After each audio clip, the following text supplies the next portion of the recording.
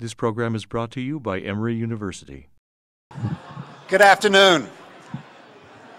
I would like to welcome everyone to this lecture, and I thank you all so much for taking time out of your schedules. This is a very special event for us. My name is Frank Alexander, and I'm privileged to be on the faculty here at Emory Law School and co-direct the Law and Religion program with my colleague John Witte. Today's lecture is the part of our new project in the Center for the Interdisciplinary Study of Religion that has been funded by the Alonzo L. McDonald Family Agape Fund.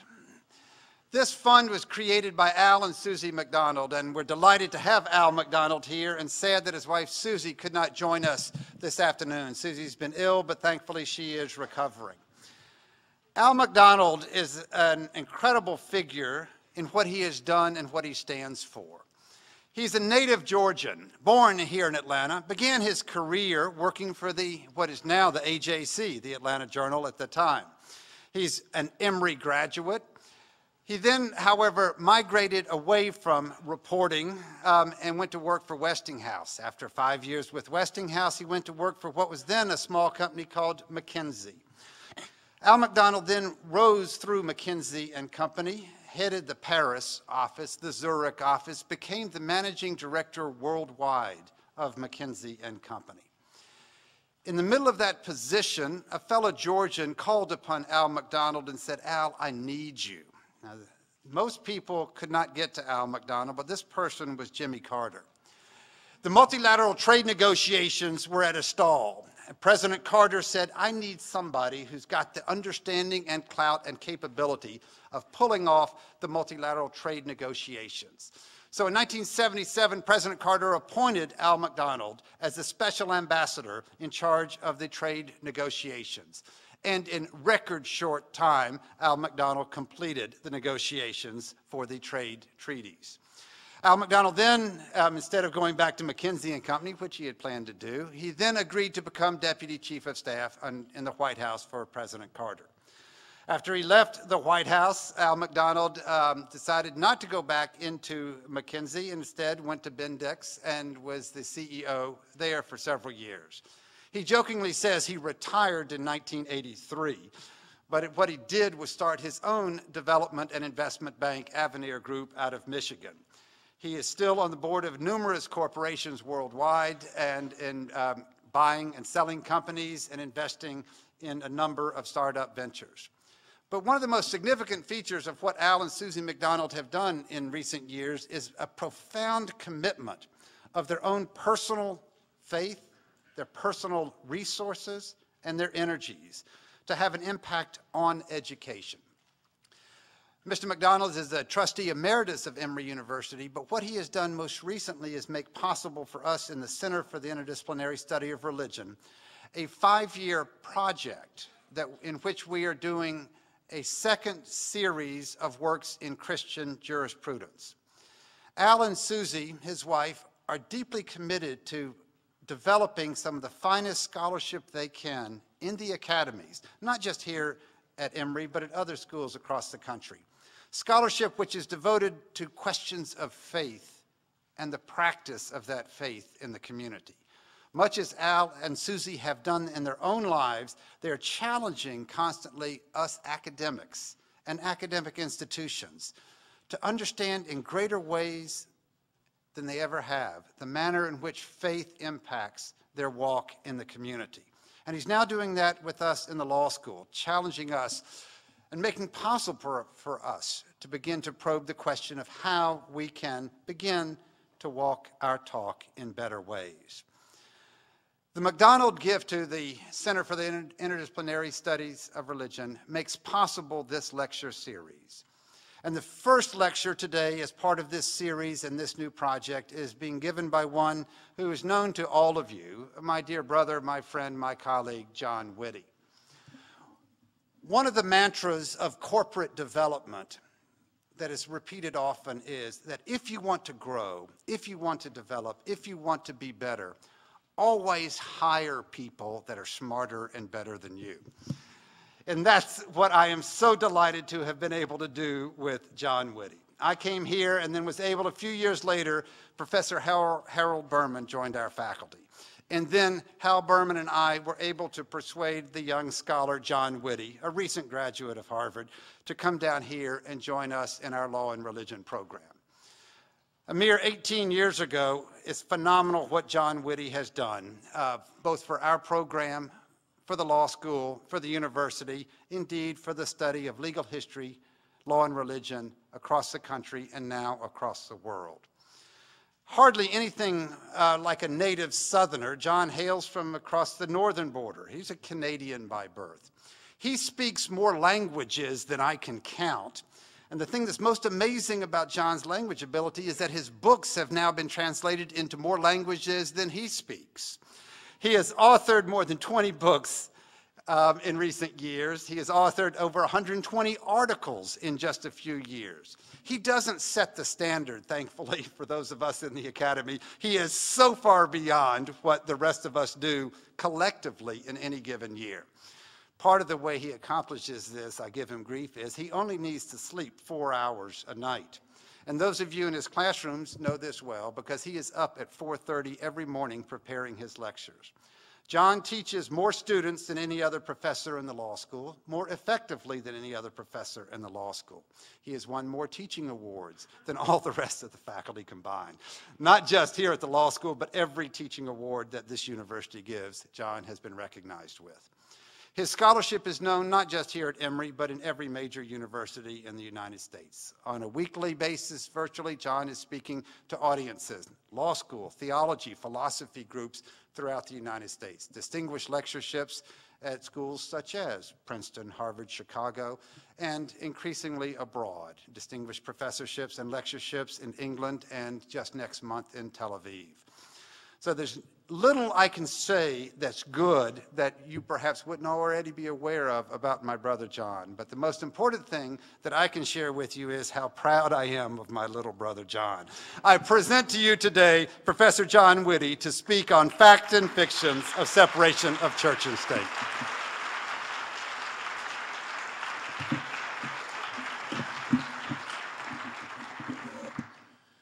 My goodness.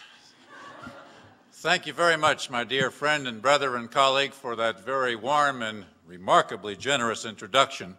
Uh, good afternoon to each of you. It's a privilege to see all of you here. Thank you so much for taking the time to be with us today. I want to join Professor Alexander in offering a very special word of thanks to Mr. Alonzo McDonald for sponsoring this new lecture series and the accompanying project on Christian jurisprudence. Mr. McDonald, as you heard, has been a model leader of church and state and society and has long lavished on Emory University ample portions of his time, of his talent, and of his treasure. And I consider it a great personal privilege to be standing at a lectern that bears his good name and that of his wonderful family.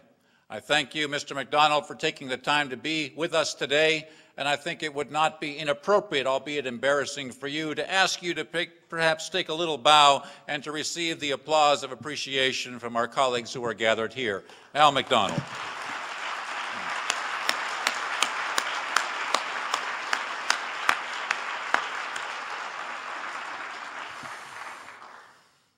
In the past decade, a veritable cottage industry of important new books and articles and briefs and judicial opinions has emerged, devoted to the history of separation of church and state. We now know a great deal more than we did about the history of separationist rhetoric, from Thomas Jefferson's famous 1802 letter to the Danbury Baptist Association to Justice Hugo Black's famous opinion in 1947 in the case of Everson versus Board of Education. We now know more about the odious manipulation of separationist rhetoric by the Ku Klux Klan and other nativist groups against Catholics and Jews and other minority faiths and new immigrants in the later 19th and early 20th centuries.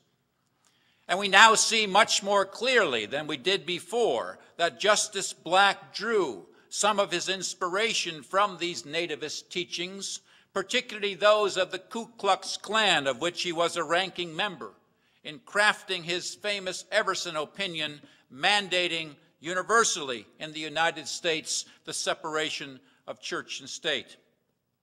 For peculiar souls like me who labor on the history of law, religion, and the First Amendment, this has all been a rather sobering but edifying corrective to the traditional story. But the newly corrected history of religious liberty is quickly beginning to create its own ample distortions of the historical record. The first distortion is the argument that the principle of separation of church and state was an invention of 19th century anti-clerical and anti-religious elites, starting with Thomas Jefferson. The second distortion is the argument that this principle was hijacked by later 19th century anti-Catholic and then anti-religious nativists who introduced all manner of prejudicial changes in American law in the name of separation of church and state, but to the detriment, if not the bankruptcy, of religious liberty for all. Because of its recent pedigree and because of its odious origin, it is now argued, we should jettison the principle of separation of church and state and some of the harsher laws that it occasioned, including some of those old laws against state funding of religious schools and religious institutions. I respectfully disagree with this new history. My reading of the sources leads me to conclude that separation of church and state has a much longer history and a much more complex and wholesome pedigree than some recent history writing allows. And today I'd like to argue that long before Jefferson penned his famous 1802 letter to the Danbury Baptists, the purported source of separationist teachings. Long before that, the 18th century American founders had at least five distinct understandings of separation of church and state, several of them with millennium-long Western roots. Each of these understandings made important contributions to the protection of religious liberty in the 19th century, and each of these understandings still holds enduring lessons for us today, as I'd like to argue 36 and a half minutes from now as I move into my conclusion. Separation of church and state is often regarded as a distinctly American and a relatively modern invention. In reality, separationism is an ancient Western teaching rooted in the Bible. The Hebrew Bible repeatedly commanded the chosen people of ancient Israel to remain separate from the Gentile world around them and to separate the Levites and other temple officials from the rest of the people. The Hebrew Bible also made much of building and rebuilding walls to protect the city of Jerusalem from the outside world and to separate the temple and its priests from the commons and its peoples, traditions still recognized and celebrated in the prayers and rituals that occur at the Western Wailing Wall. The New Testament warned Christian believers to remain separate from the world, not to conform to the world and its temptations, and ever mindful that their true citizenship lies in heaven. Echoing the Hebrew Bible, St. Paul spoke in Ephesians 2 literally of a wall of separation between Christians and non-Christians interposed by the law of God. These biblical passages have inspired a long history of Western reflection on separation and the wall of separation between church and state. The archives hold a massive farrago of patristic and medieval and early modern sermons and biblical commentaries that call for a separation between the faithful and the fallen, the religious and the political, the clergy and the laity, the spiritual and the temporal, the prelate and the magistrate, and the church and the state. At the same time, churchmen and statesmen over the centuries forged countless treaties, statutes, and other constitutional texts to define and to delimit their respective offices and powers and to determine their mutual duties and rights. And these theological and political teachings were distilled into powerful models of separationism, known as two ways, two cities, two powers, two swords, two kingdoms, and other dualistic constructions. Many of these models were transmitted across the Atlantic to the American colonies and then transmuted to accommodate local colonial conditions. The 18th century American founders called on this European and colonial legacy to press at least five concerns at once. First, the principle of separation was invoked as a means to protect the church from the state. This had been a common Christian understanding of separation since the first century of the Common Era, and it was captured in the Christian clergy's perennial call in subsequent centuries for freedom of the church, or what the Edict of Milan of 313 had called for the first time in the West, the free exercise of religion and religious groups. The 18th century American founders' principal concern was to protect church affairs from state intrusion, church properties from state encroachment, church rules and rights from political coercion and control. This understanding of separation of church and state was prominent in 18th century America. Elisha Williams, the great New England jurist, spoke for many churchmen when he wrote, Every church has the right to judge in what manner God is to be worshiped by them, and what form of discipline ought to be observed by them, and what clergy ought to be elected by them, from all of which the state must be utterly and completely separate. George Washington wrote in 1785 of the need, quote, to establish effectual barriers so that there was no threat to the religious rights of any religious society including beleaguered minorities like Jews and Catholics and Quakers, whom Washington favored with a number of special letters pledging his support. Thomas Jefferson called in his 1784 Notes on Virginia for government to resist what he termed intermeddling with religious institutions, their doctrines, disciplines, or exercises.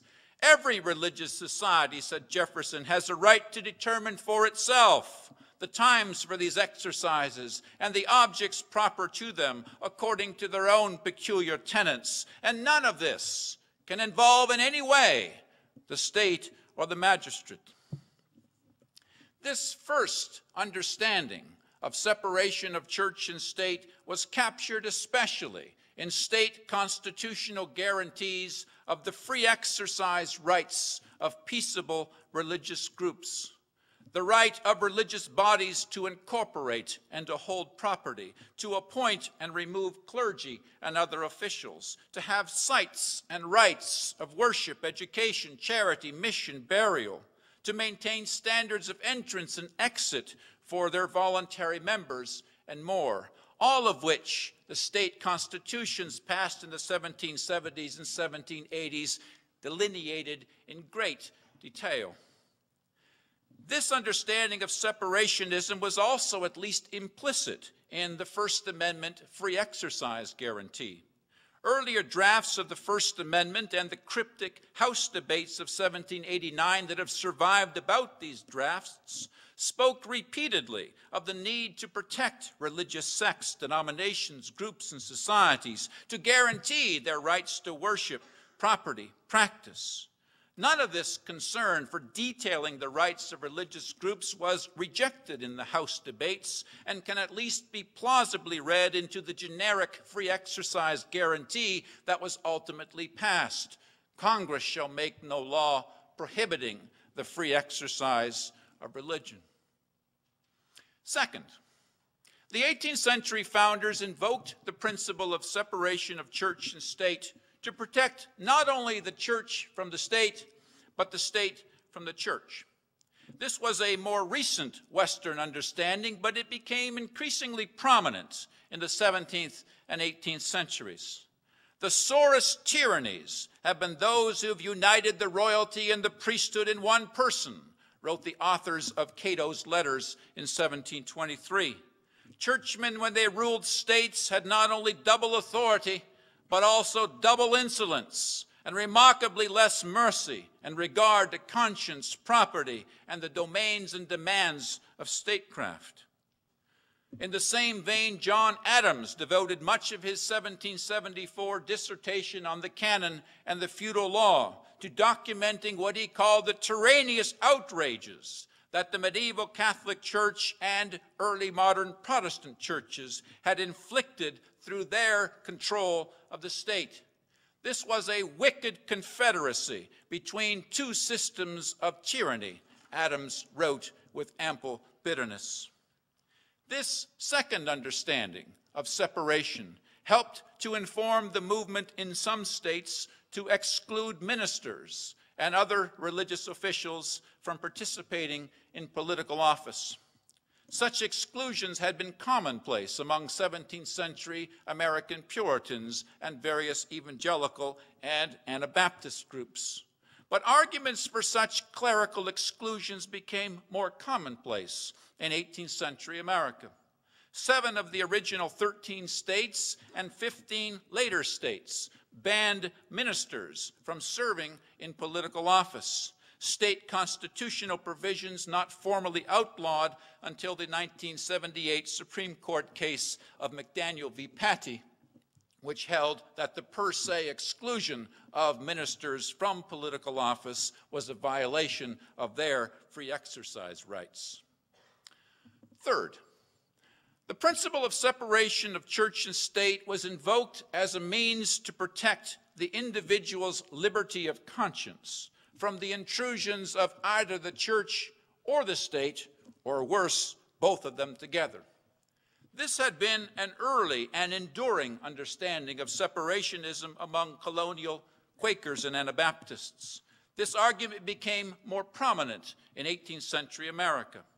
Every man has an equal right to follow the dictates of his own conscience in the affairs of religion, Elisha Williams wrote. This is an equal right with any rulers, be they within the church, within the state, or within a combination of the same. James, Ad James Madison put this case in his 1785 memorial and remonstrance, calling for what he termed a great barrier between church and state to defend the religious rights of the individual. And Thomas Jefferson's famous 1802 letter to the Danbury Baptist Association also tied the principle of separation of church and state directly to the principle of liberty of conscience. After his opening salutation, Jefferson's letter reads as follows Believing with you that religion is a matter which lies solely between a man and his God, that he owes account to none other for his faith or his worship, that the legitimate powers of government reach actions only and not opinions. I contemplate with sovereign reverence the act of the whole American people which declared that their legislature shall make no law respecting an establishment of religion or prohibiting the free exercise thereof, thus building a wall of separation between church and state. Adhering to this expression of the supreme will of the nation in behalf of the rights of conscience, I shall see with sincere satisfaction the progress of those sentiments which tend to restore to man his natural rights, convinced he has no natural right in opposition to his social duties. In Jefferson's formulation here, separation of church and state assured individuals of their natural rights of conscience, which could be exercised freely and fully to the point of breaching or shirking their social duties. Jefferson is not talking here about separating religion and politics altogether. Indeed, in the very next paragraph of his letter, President Jefferson performed an avowedly religious act of offering prayers on behalf of his Baptist correspondents. He wrote, I reciprocate your kind prayers for the protection and blessing of the common Father and Creator of man. Fourth, the principle of separation of church and state was occasionally used to argue for the protection of individual states from interference by the federal government in governing local religious affairs. Jefferson used the principle of separation in this federalist jurisdictional sense as well. Jefferson said many times that the federal government had no jurisdiction over religion.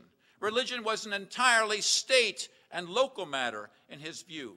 As he put it in his second inaugural, quote, in matters of religion, I have considered that its free exercise is placed by the Constitution independent of the federal government. I have therefore undertaken on no occasion to prescribe the religious exercises suited to it, but have left them as the Constitution found them, under the direction and discipline of state or church authorities.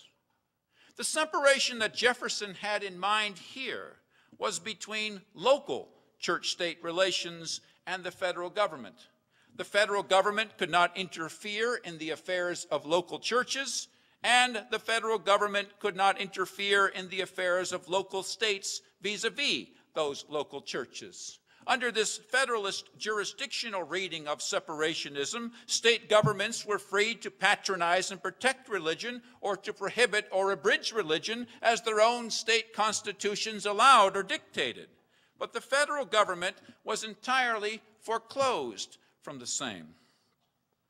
Some scholars have imputed this fourth understanding of separation of church and state into the First Amendment provision that says Congress shall make no law respecting an establishment of religion. The argument is that Congress shall make no laws respecting a state establishment of religion. In 1789, when the First Amendment was being drafted, six states still had religious establishments, which both their state legislatures and constitutional conventions had defined and defended, often against very strong opposition by religious dissenters or nonconformists. Moreover, Virginia had just passed Jefferson's bill for the, quote, establishment of religious freedom, also against firm opposition, now proffered by traditional establishmentarians. Having just defended their state establishments of whatever sort at home, the new members of Congress were not about to relinquish them to the new federal government, especially this most dangerous branch, the Congress. This is a plausible reading of this mysterious respecting language in the First Amendment Establishment Clause. This Federalist read, but the evidence for it is demonstrably thin in the surviving House debates. But this Federalist reading of the Establishment Clause is becoming more and more prominent today. It was given very strong expression in a very recent concurring opinion by Justice Thomas in the New Newdow Pledge of Allegiance case as part and product of the court's neo-federalist revolution of many areas of constitutional law in the past decade and seemingly as part of the court's broader effort to selectively unincorporate the religion clauses from the Due Process Clause of the 14th Amendment. Fifth, and finally, the principle of separation of church and state was adduced as a means to protect society and its members from unwelcome participation in and support for religion. Already in later colonial America, several religious groups used separationism to argue against the established church's policies of mandatory payments of tithes or required participation in swearing oaths or forced attendance at religious services, compulsory registration of their church properties, and more. At the turn of the 19th century, the language of separation of church and state also began to fuel broader campaigns to remove traditional forms and forums of religion in law politics, and society, and to remove special state protection, patronage, and participation in religion. This was the most novel and the most controversial understanding of separation of church and state in the young American Republic, but it began to gain rhetorical currency in the course of the 19th century. The first notorious instance came in 1800 during the heated election debates between Thomas Jefferson's Republican Party and John Adams's Federalist Party. This was a clash of propaganda machines that made the recent Bush-Kerry campaigns look like child's play. Adams' party accused Jefferson of being the Antichrist, the whore of Babylon, a Jacobin infidel and secularist bent on destruction of the necessary religious foundations of law and necessary alliances between church and state. Jefferson's party accused Adams of being a Puritan pope, a religious tyrant bent on subjecting the whole nation to his suffocatingly narrow beliefs and to his smug, self-serving ministers who stood four square against liberty and progress. These proved to be only opening shots in a century-long American battle over the means and the meaning of separating church and state. The battles broke out thereafter over dueling, Freemasonry, lotteries, drunkenness, Sunday laws, slavery, marriage, divorce, women's rights, religious education, blasphemy prosecution, enforcement of Christian morality, and much more. These were battles fought in Congress and in the courts, in states and on the frontier, in churches and in the schools, in clubs and at the ballot box. They were largely wars of words, occasionally wars of arms. The battles included many familiar foes, Republicans and Federalists, the North and the South, Native Americans and new emigrants. They also included a host of newly established political and ideological groups, the Know Nothing Party, the American Protective Association, the National Liberal League, the American Secular Union, the Ku Klux Klan, and dozens of other ideological and political groups right and left. Let me just focus on one running episode in this great 19th century battle, namely the repeated clashes between Protestants and Catholics over separationism. The long and the sad story of the anti-Catholicism of 19th century Protestants is well known. Around 1800, American Protestants and Catholics had seemed ready to put their bitter and bloody battles of prior centuries behind them. But with the swelling tide of Catholic emigres into America after the 1820s, all demanding work, building schools, establishing charities, converting souls, and gaining influence, native-born Protestants and patriots began to protest. Catholic bashing became a favorite sport of preachers and pamphleteers. Then rioting and church burnings broke out in the 1830s and 40s, followed by even more vicious verbal pillorying and repressive actions against Catholics. What several recent studies have made clear is that the principle of separation of church and state became one of the strong new weapons in the anti-Catholic arsenal. Foreign Catholics were for the union of church and state, the propagandists claimed. American Protestants were for the separation of church and state. To be a Catholic was to oppose separationism and American-style liberties. To be a Protestant was to defend separationism and American-style liberties. To bash a Catholic was thus not a manifestation of religious bigotry, but a demonstration of American patriotism. Protestants and patriots began to run closely together, often tripping over each other to defend separationism and to decry and to deny Catholics for their failure so to do. All this is a proper corrective and amendment to the traditional story that students of American religious liberty need to hear. But it's important that this corrected or amended story not now be read as a simple dialectic of Protestant separationist hawks versus Catholic unionist doves, as several recent writings and briefs and judicial opinions have done. And it's important to be clear that Protestant Catholic battles over separation of church and state had two sides, with Catholics giving as well as taking winning as well as losing.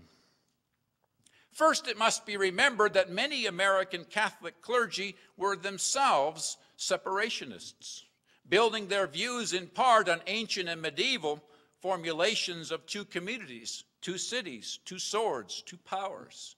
These American Catholic clergy saw separation of church and state as an essential principle of religious liberty, particularly as a religious minority, and they embraced the principle without evident concern or cavil. Both Alexis de Tocqueville and Lord Acton, two foreign observers of American life, made note of this at some length.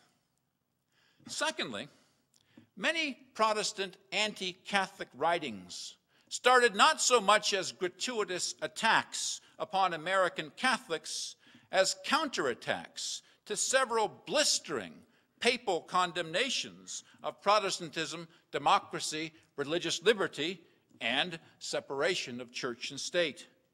The papacy, charred by the savagery of the 1789 French Revolution, had a quite different view of separationism than prevailed among many American Catholics. In the 1832 papal document Mirari Vos, for example, Pope Gregory XVI condemned in no uncertain terms all churches that deviated from the Church of Rome and all states that granted liberty of conscience, free exercise, and free speech rights to their non-Catholic citizens. For the Pope, it was, quote, an absurd and erroneous proposition to claim that liberty of conscience must be maintained for everyone. The Pope denounced what he called freedom to publish any writings whatsoever and disseminate them to the people. The church has always taken action to destroy the plague of bad books, and the state should too. The Pope declared anathema against what he called the detestable insolence and probity of Luther and other Protestant sons of the devil those sores and disgraces of the human race who joyfully deemed themselves free of all. Even worse, the Pope argued, were the plans of those who, quote, desire to separate the church from the state and to break the mutual concord between temporal authority and the priesthood. The reality, the Pope insisted, was that state officials, quote, received their authority not only for the government of the world, but especially for the defense of the Catholic Church. In the blistering syllabus of errors of 1864, the papacy condemned as cardinal errors the proposition that, quote, Protestantism is nothing more than another form of the same true Christian religion. It was likewise a cardinal error that, quote, the church ought to be separate from the state and the state from the church. Six years later, the 1870 Vatican Council declared the Pope's teachings to be infallible and condemned Protestants anew as, quote, heretics who dared subordinate the divine magisterium of the church to the judgment of each individual's conscience.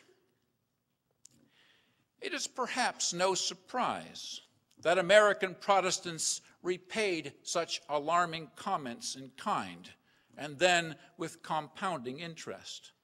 The Pope, as Americans heard him, had condemned the very existence of Protestantism and the very fundamentals of American democracy and liberty.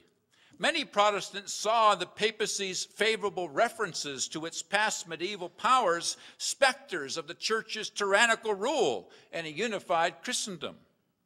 This simply could not be for Protestants conveniently armed with new editions of the writings of Martin Luther and John Calvin, American Protestants repeated much of the vitriolic anti-Catholic and anti-clerical rhetoric that had clattered so loudly throughout the 16th century Protestant Reformation.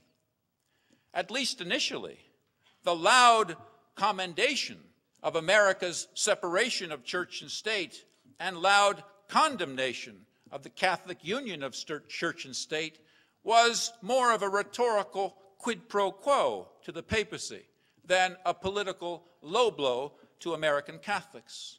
But inevitably, there was plenty of political imitation and plenty of cheap shots taken at American Catholic clergy, particularly those who stood up in defense of the papacy. And inevitably, this rhetoric brought anti-Catholicism and pro-separationism into close association, especially in the minds of the right and left-wing propagandist groups. A third and a final caveat to the corrected story is that when local anti Catholic measures did pass, as they too often did in the later 19th and early 20th centuries, both the U.S. Supreme Court and the Congress sometimes provided Catholics with relief using the very principle of separation of church and state to protect their religious liberty. And thus, in Cummings versus Missouri in 1866, the court held that a state may not deprive a Catholic priest of the right to preach for failure to take a mandatory oath disavowing his support for the Confederate States. Separation of church and state, said the court, exists for the sake of protecting the conscience, particularly of the clergy. In Watson versus Jones in 1871 and three subsequent cases, the court required civil tribunals to defer to the judgment of the highest religious authorities in resolving intra-church disputes, explicitly extending this principle to Catholics in the name of separating church and state and Church of the Holy Trinity versus the United States in 1892, the court refused to uphold a new federal law forbidding contracts with foreign clergy, a vital issue for the Catholic magisterium. And in Pierce versus Society of Sisters in 1925, the court invalidated a state law making public school attendance mandatory, thereby protecting the rights of Catholic parents and schools to educate children in a religious school environment.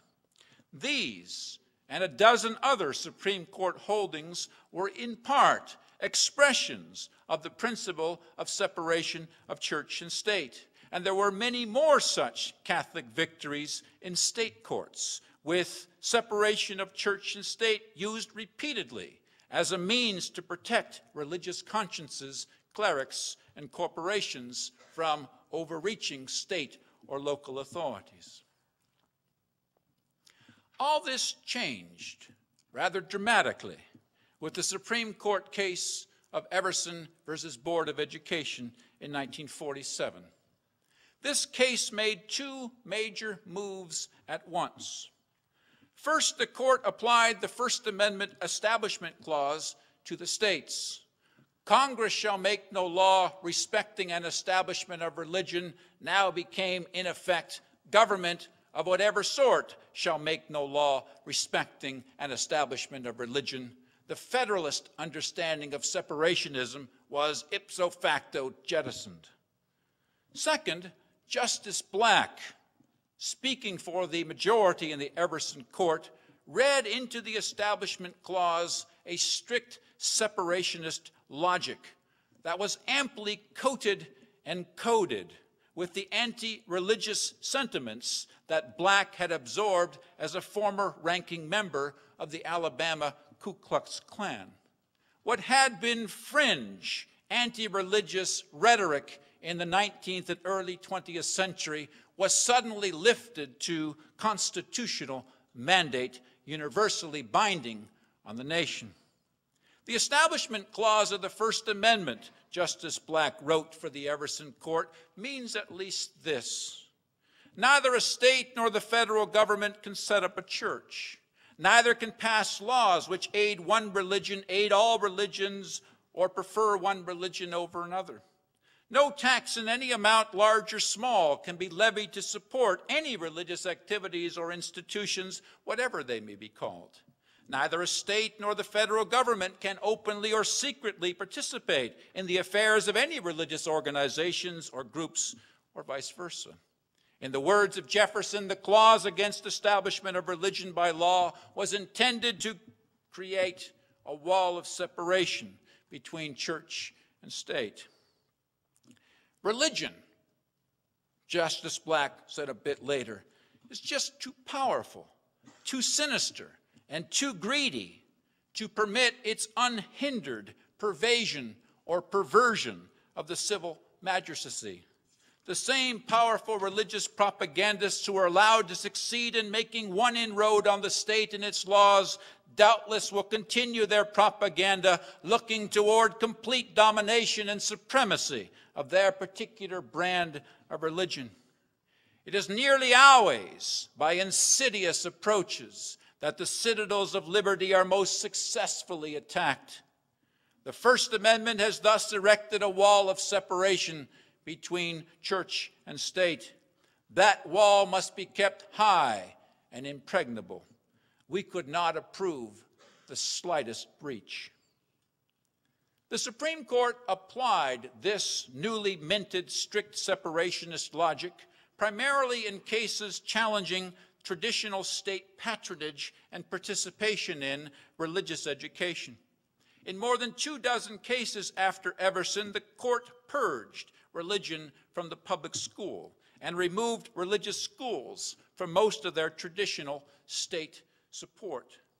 In the 1971 case of Lemon versus Kurtzman, the court distilled the separationist logic of its earlier cases into a general test to be used in all future Establishment Clause cases, whether applied to education or anything else. Henceforth, every law, said Lemon, challenged under the Establishment Clause would pass constitutional muster only if it had first a secular purpose, second, a primary effect that neither advances nor inhibits religion, and third, fosters no excessive entanglement between church and state and their officials. This Lemon test rendered the Establishment Clause a formidable obstacle to many traditional forms and forums of church-state cooperation. Particularly the lower courts used the Lemon test to outlaw all manner of government subsidies for religious charity, social services, mission works, and government use of religious services, facilities, publication, language, rituals, symbols, and more. Some of these Establishment Clause cases, in the name of separation of church and state, help to extend the ambit of religious liberty, particularly for minority faiths. But some of these cases also help to erode the province of religious liberty by effectively empowering a single secular party to veto popular laws touching religion that caused him or her only the most tangential and attenuated constitutional injury. It must be remembered that separation of church and state is only one principle that the Establishment Clause teaches, and the Establishment Clause is only one guarantee that the First Amendment embraces for the protection of religious liberty, the other being the Free Exercise Clause. The First Amendment says Congress shall make no law respecting an establishment of religion or prohibiting the free exercise thereof. These two religion clauses hold complementary guarantees of religious freedom.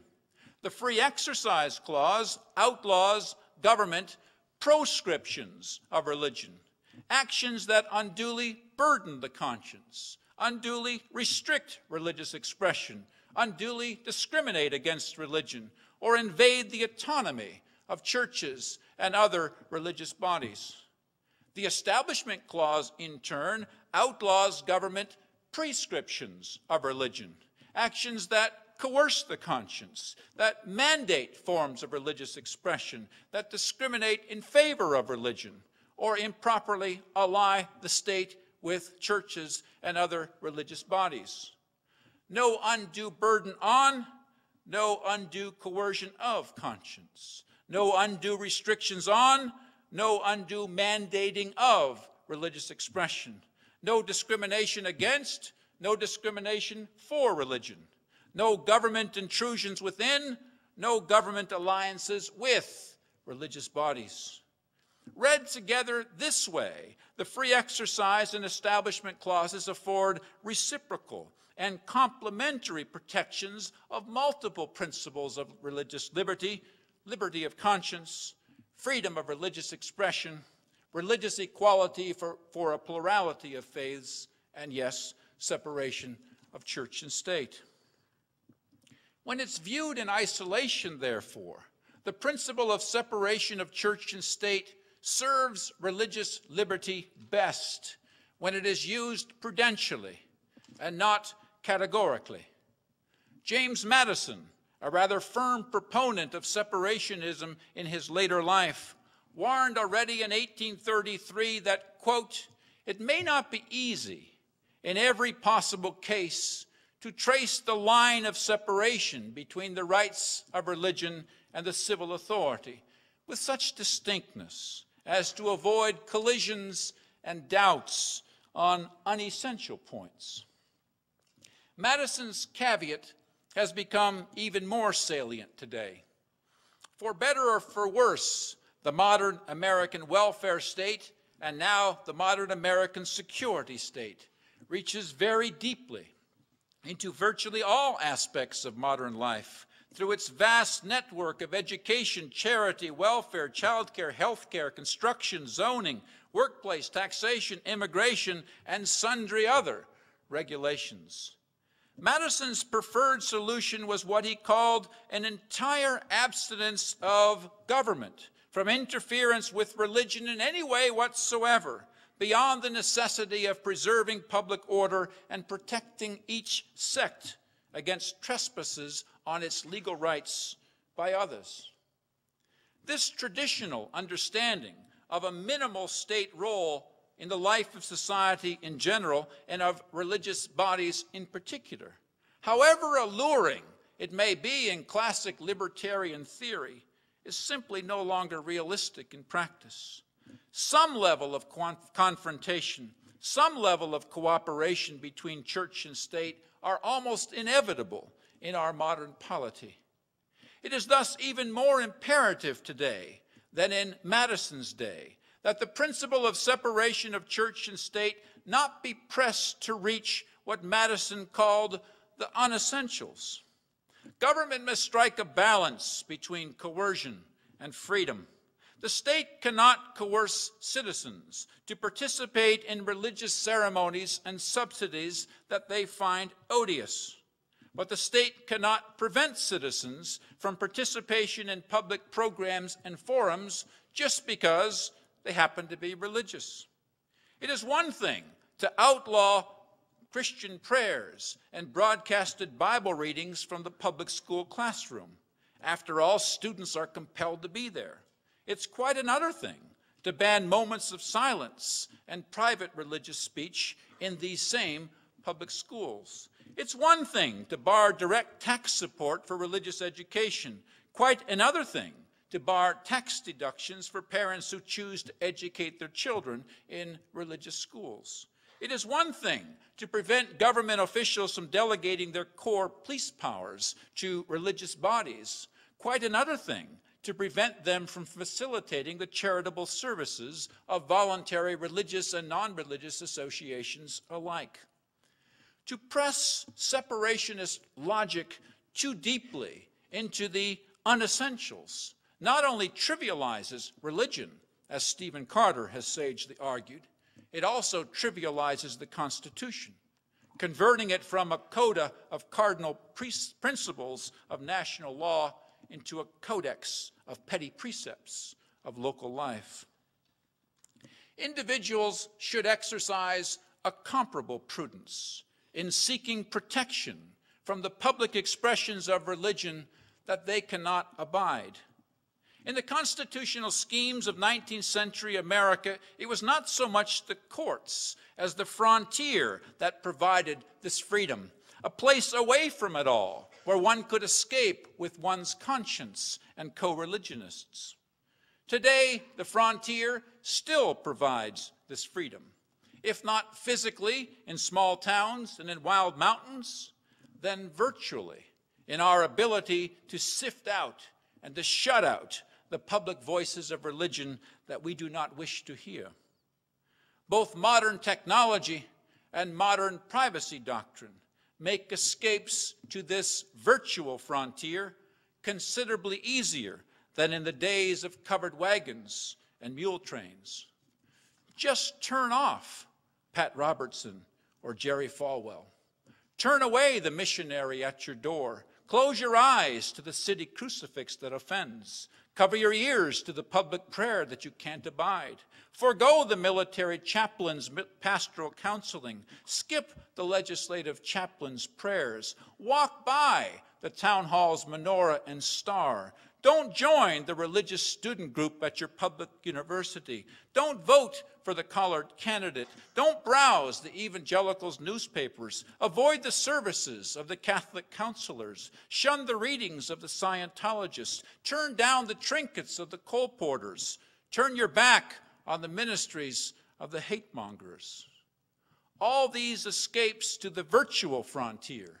The law does and will protect with force if necessary.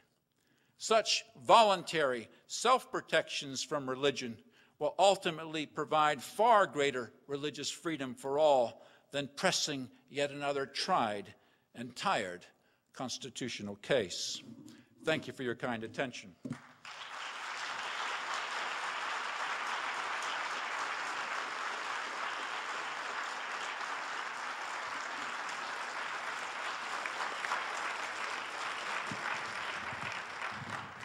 All right, we've got about 10 minutes for questions. Um, and so I encourage any of you that have questions, we do ask that we've got mics set up and that you speak your questions into the mic for purposes of our future uh, use of this presentation. Um, we've got, go ahead, we'll go ahead with the first question here. Please.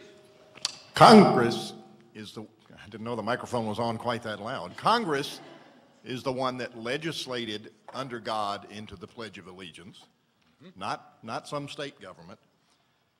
And don't you think that the court should have agreed with Michael Newdow that uh, the federal Congress should not have the right to demean and to coerce atheists? I'd also like to hear what you have to say about today's arguments about uh, the Ten Commandments. Hmm. How many minutes do we have, Frank? The Pledge of Allegiance Newdow case raised several issues at once when the court was trying to address them all at once. The, one, the constitutional issue that's central to this discussion is the Establishment Clause question. Does Congress's addition of the under God language to the Pledge of Allegiance result in an establishment of religion? There were alternative constitutional considerations and concerns that the lower courts raised and which, which the court was also addressing. One was how generous do we want to be in the recognition of standing? When parties press a constitutional case, how active do we want to be in allowing them to represent interests which are distant from their own interests, but may be recognized in a party whom they represent? And the second issue that was implicated besides the Establishment Clause was the question of how much deference are we going to be giving to state domestic relations law, which dictated in the particular Newdow case what relationship the father, Mr. Newdow, had toward his non-custodial child. The court took the case in part because of the collision of these three lines of cases and had to resolve it. What the court's majority chose to do was to focus on the standing issue and to coat it with a federalist reading. That is, it's interested in curbing undue standing, as it had said several times in prior cases, Lujan and its many progeny, and it is also interested in underscoring the new federalism that the court had engineered under various other constitutional provisions and which was being threatened by a lack of recognition of the domestic relations issue and what legal representation meant with respect to the custodial versus the non-custodial parent. I think the court took the case not because it wanted to punt on the Establishment Clause issue, but because it couldn't figure out which of the three important constitutional questions it wanted to make the driving engine of the case. Ultimately, what the court did, in its majority opinion, was punt on the Establishment Clause question, but ultimately, in punting on the Establishment Clause question and finding, as it did, reversing the Ninth Circuit, creating again a uniform application of Congress's mid 1950s laws under God. Now, that ducks the hard question, which is Is the imposition of the oath that says, the Pledge of Allegiance, excuse me, that says one nation under God, a an establishment of religion, especially as the questioner underscores this is Congress doing it, not the states where a federalism argument might obtain. I think in this instance you have to read the issue of under God together with the Barnette case of 1943, where the U.S. Supreme Court there said quite clearly parties may, if they have conscientious scruples, because of worries of language or worries of symbol or failure to want to participate in the religious ritual, can escape participation in the ritual. And the Barnette case gives a release valve and tries to provide a free exercise ground to deal with the constitutional issue at hand when Congress passes a law. There is also a 1961 case, Torcaso v. Watkins, where the Supreme Court says quite clearly we are interested in protecting the rights of atheists and forcing an atheist to profess an oath alleging his belief in God is a violation of his free exercise rights. With those two constitutional precedents in place, providing free exercise relief from those who are minorities with respect to Congress's mandated conduct of, requiring a Pledge of Allegiance, including under God, I think the court could quite easily, in the Pledge of Allegiance case, come to the conclusion this is not an establishment of religion. That would be the way it would resolve that conflict, whether satisfactory or unsatisfactory, an open question.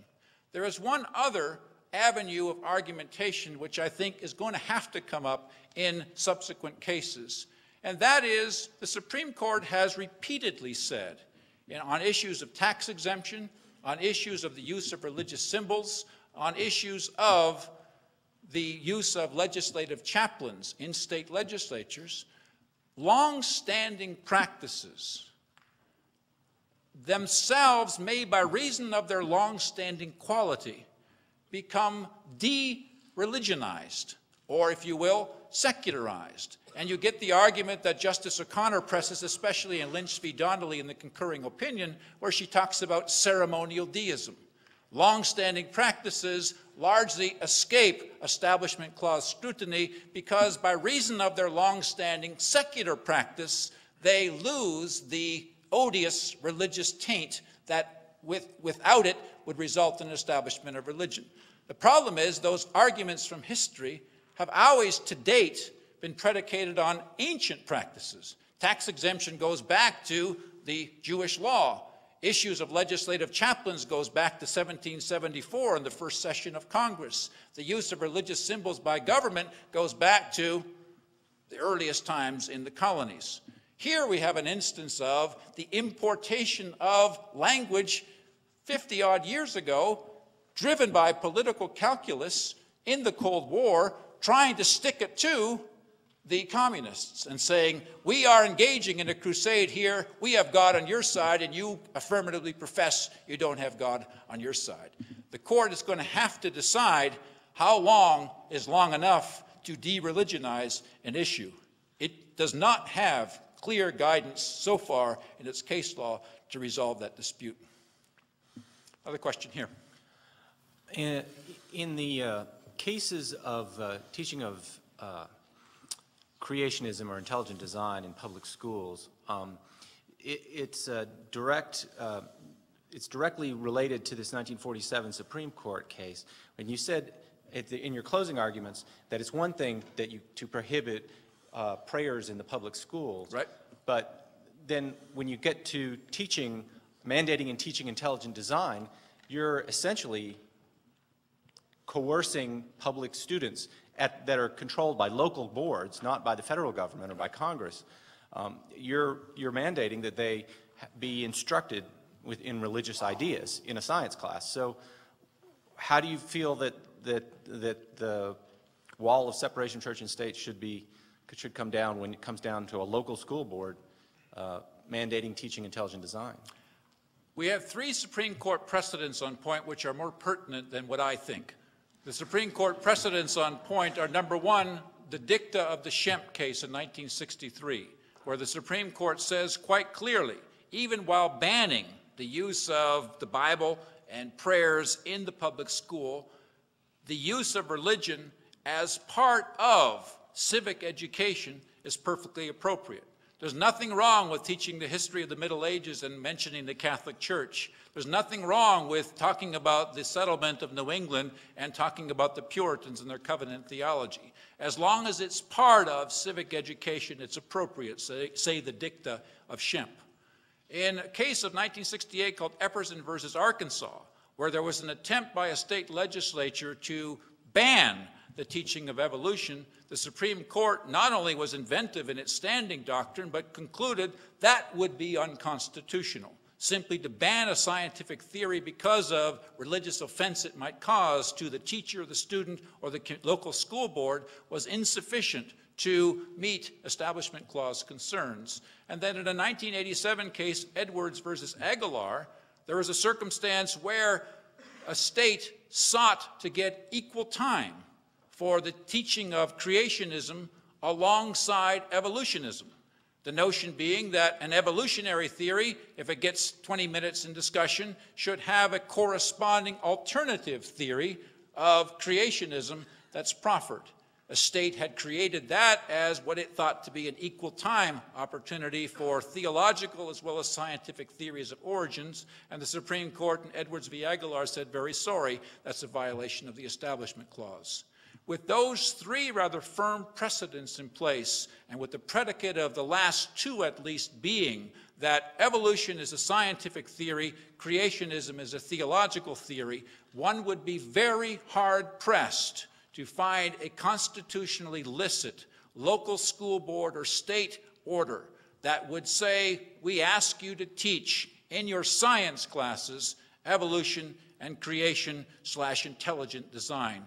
If you can coat your creationism or intelligent design theory as a scientific theory and question the premise of the last two cases, Epperson and Aguillard, then you have got an argument. But the place for the teaching of creationism would not be in a science course on the history of origins. Per Schempp, it would be where? In the teaching of literature, with the Bible being used as a literary text and Genesis 1 and 2 being read in that context.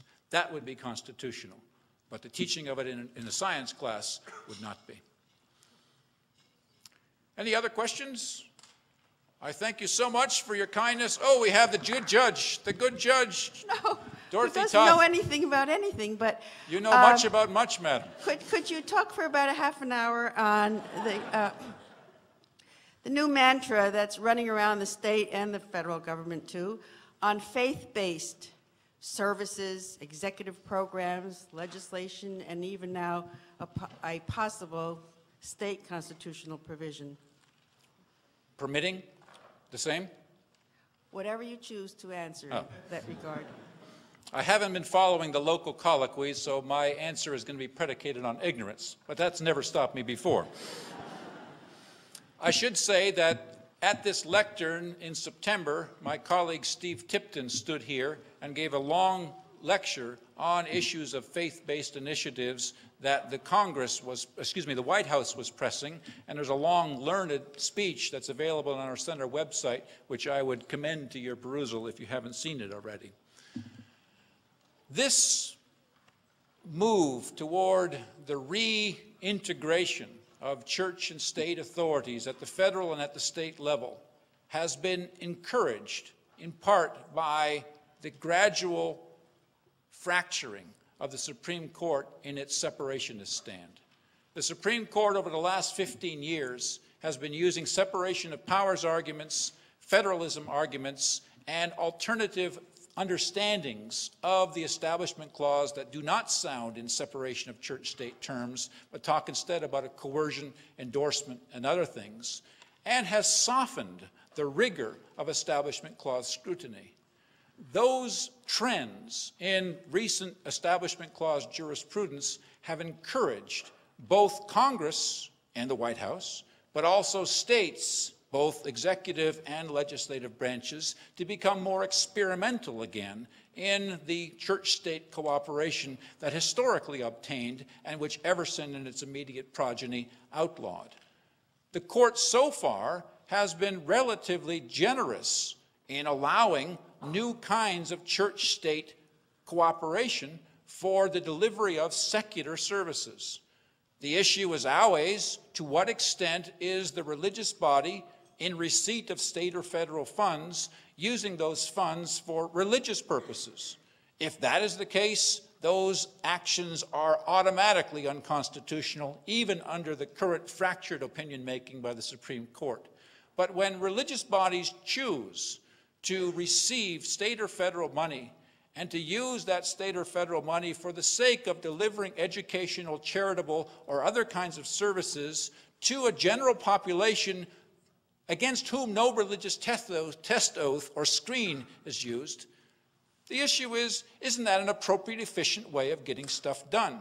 Why should the state spend all of its money, all of its time doing these kinds of things? Why should the state create a, variety of new institutions when we have communities of faith that are prone, that are primed, and that are eager to take this on? And so, in my view, these are healthy experiments, healthy experiments in rethinking whether in the post-Eversonian age, some level of cooperation is again appropriate, not for the sake of helping the church or other religious bodies, but for the sake of helping those poor folk out there, 40 million of whom live below the poverty line and who are in desperate need of social services, hitherto foreclosed to them because of the ineptitude of the government officials delivering same. There's a lot of negotiation and policing that has to go on with respect to the propriety of the use of the funding. But the generic issue of whether it's appropriate to use religious bodies alongside non-religious like position bodies to deliver basic services as a private sector activity, I personally have no reservation about. Thank you so very, very much. Th thank you, Professor Witte, for your words of clarity. Thank you, Professor Witte, for your words of conviction, for your words of commitment. Thank you, Al McDonald, for making this lecture possible, for your commitment to us here at Emory Law School. I ask that all of you take a look in your program. You'll see a form that we'd like you to fill out just so that you can give us information on how you found out about today's presentation and turn in that form to one of our staff members as you leave. And also take note of our future lectures. And finally, simply join me in one final round of thanks to Professor Witte and Mr. McDonald.